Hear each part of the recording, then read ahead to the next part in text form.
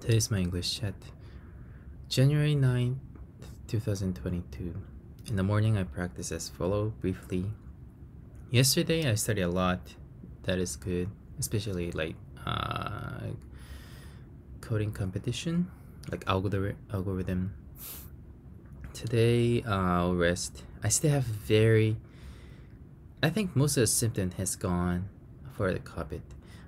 However, think I have a very, I will, suffer from after effect for a while, which is uh, very shallow breathing, uh, cough, like I, I don't cough often, but sometimes I feel really like coughing and sneezing.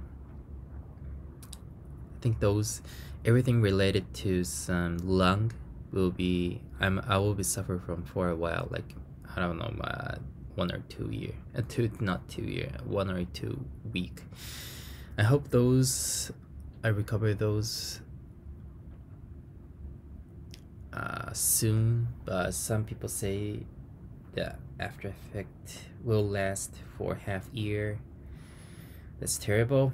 I hope I recover in one month. I'm not sure. So but I'm not sure I can work out from now. I'm because you know to be healthy sometimes working out is important but sometimes doing exercise can cause catch a cold easily.